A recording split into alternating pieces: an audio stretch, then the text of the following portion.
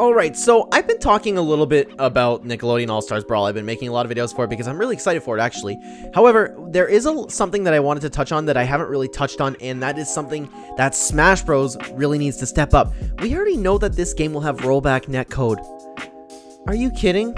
Smash Ultimate can't even figure out it's online. This is something that Nintendo needs to fix. They really do. And if they don't want to be taken over, because their DLC's ending, there's one more fighter coming, and they've made that point a, a lot of times. the point is, what's probably going to happen to Smash Ultimate is the same fate that Smash 4 is there will always be a dedicated player base, but the hype is going to die around. And with Nickelodeon All-Stars here, depending how they do the DLC reveals and anything like that, assuming it does have DLC, but it looks like this game will be actual, it has a promising future ahead of it. we're going to see, again, we'll have to wait to see how the characters, how they handle it and stuff like, but this could give Smash Bros. a run for its money. And with it having online that will work, Smash Bros.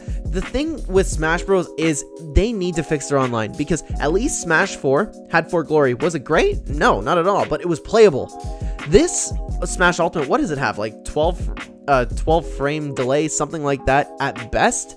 I don't know. It's so unplayable, Smash Ultimate's online, that I've never played online. I've tried to play online with some of my friends, and I miss talking to them. I miss playing Smash Bros. with them. This ever since, like, I'm in Canada over here, we're still incredibly locked down.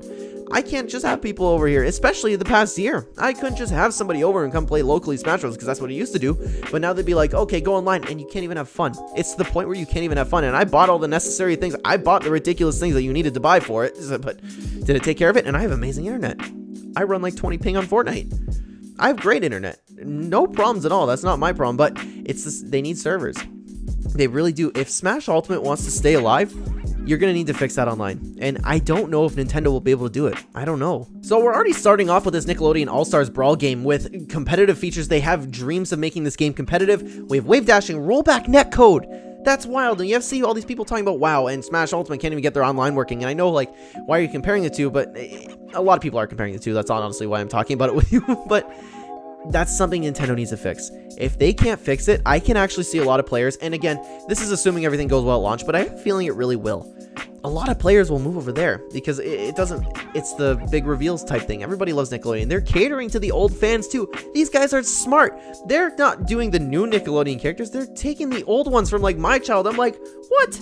Ren and Stimpy? Like, you know, it's getting my attention and they know nostalgia sells. It's genius. It's genius what they're doing and they can take over smash bros. Am i to say like i love i just love all games. I don't really care who takes over what but i do not want the hype for smash ultimate to die at all. That's just me.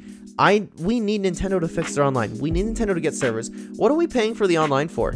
If you're especially if you're just smash bros. Like i understand there's other games but if you're someone like me who primarily plays smash bros. there's no point in getting the online and you know what they're to add? Okay, we added this little old game for you to play, which is nice, but it's not what we want. Don't get me wrong, though. I am so, so appreciative of what Mr. Sakurai and the dev team have done for us, but I understand that it's not them doing this. It's Nintendo doing this. And I don't mean to come off like a salty fan here, but I just, I have a lot of passion for Smash Bros. I don't want it to die. I want to play Smash Bros. I only have my brother to play with. I like, and that's like, you know what? Okay, we can invite people. Like, the world's opening up again, but what are we gonna do when there's no more DLC reveals and people like slowly start dying, dropping the game? Not, no, not a lot of people are gonna be like me and continue to play the game forever. I just, I don't know. Even playing with random people, you get a lot of satisfaction out of it. I don't understand how people play it. I really don't. And I just really, really wish that Nintendo would add some servers for us to play on. That's all. But guys, I would love to know what you think about this topic. Do you think that Nickelodeon All-Stars Brawl is going to take over Smash Bros? It's a very interesting topic. I think we'll have to wait and see how it ends up selling and performing. But as always, I would love to know what you think, so let me know down below, guys. Thank you so much for watching this video. If you're new here and you enjoy the content, please consider the like button. It would help out the channel a ton.